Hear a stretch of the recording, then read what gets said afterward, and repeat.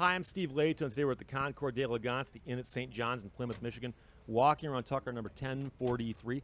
This is the best example of a Tucker in the world. And uh, Mark Lieberman of Nostalgic Motoring restored this car a few years ago, and then it went through an auction where it sold for $2.915 million, which set a record, meaning that this is the most expensive, most valuable Tucker in the world. And the reason why is this Tucker has been restored perfectly. You don't get any better than this.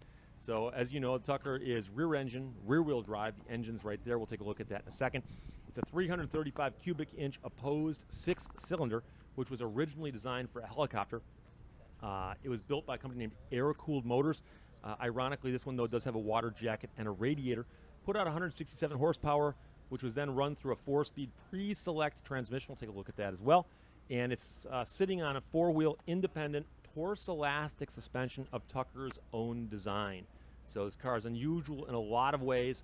A lot of features were ahead of their time, and of course, some are just different, like the Cyclops headlight, which did turn with the steering wheel on occasion and would help illuminate the roadway ahead of you, especially as you went around corners.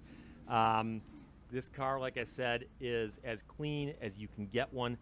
You'll notice there's even a Tucker symbol in the hubcap um, and a few other places in the car. Gas tanks up front. This car's got the optional radio.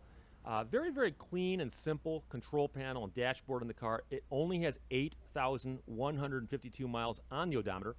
There's the optional radio, says Tucker down the buttons, and the four-speed shifter for the pre-select transmission. Uh, padded dashboard, a lot of room in this car. Could easily send six people down the road in comfort.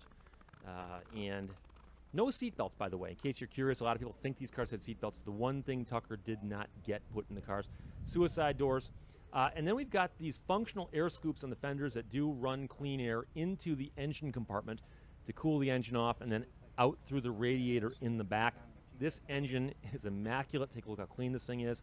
Uh, you'll notice that it has the Tucker manifolds with the name emblazoned across the top and a 6 volt battery on the right hand side. Car's got a 6 volt system like a lot of them did back in the day. And there's the transmission sitting in front of the engine.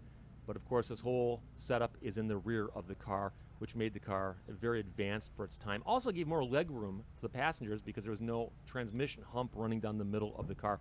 Very, very well lit out here on the golf course. We can see in here really, really well. I love these shots deep inside the engine compartment of Tucker number 1043. This is only one of 23 cars we think that exist today with the original engine. So that's another reason the price was uh, so astronomical when it went through the auction, and sold for almost $3 million. There's a safety crash compartment where if you're a passenger, some people suggested you could duck down in there and possibly uh, do better in an accident. We're not sure about how well that would work, but hey, we like the thought process. And then, of course, here's the trunk in the front and the data tag that shows, in fact, this is 1043, serial number and the style number, body number, paint number, all of that. So again, this is without question the best Tucker in the world. Tucker number 1043. Thank you to Mark Lieberman for bringing it to the show uh, and Nostalgic Motoring that restored it. And I hope you enjoyed it. Talk to you later. Bye bye. Beautiful car. Thank you. Use it in good health. Thank you.